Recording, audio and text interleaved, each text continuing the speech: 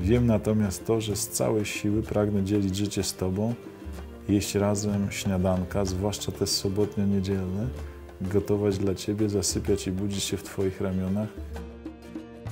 Jak odsłuchałem wiadomość, po prostu tak mnie zatkało, płakałem jak dziecko, czułem się oszukany przez Pana Boga. Co Ci zależało? Co Ci zależało? Przecież tyle osób się modliło.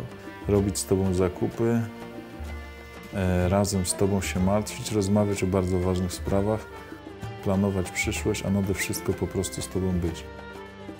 Nie? Tak jak się wtedy zezłościłem na Boga, jak wprost do Niego mówiłem, krzyczałem, miałem pretensje, to w życiu tak nie miałem.